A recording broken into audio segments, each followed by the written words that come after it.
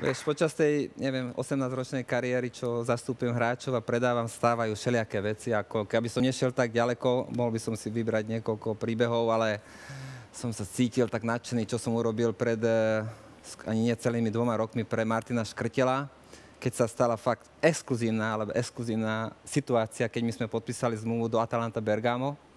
A Martin eh, vlastne 15. augusta a 31. augusta sme rozviazali zmluvu. To proste podľa mňa neexistuje, ani sa to nedá normálne.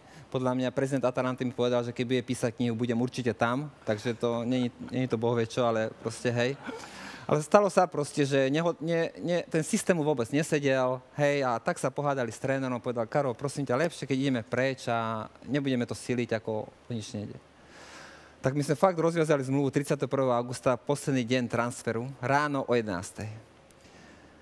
A teraz ja deň predtým som hovoril s Juventusom, s Fabiom Paratičím, a to bol presne zápas, keď hrali s Neapolom 3-3 e, a mali problémy s obrancami.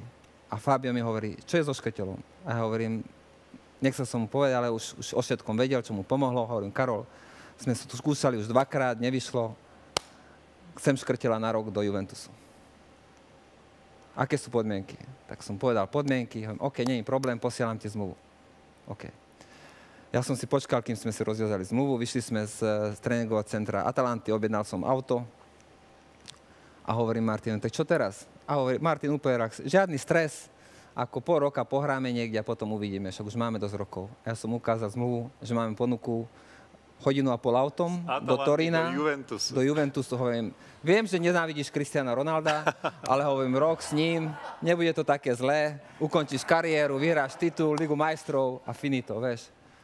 A on mi hovorí, že mm, Karol, vieš čo, ale čo ja viem, Juventus.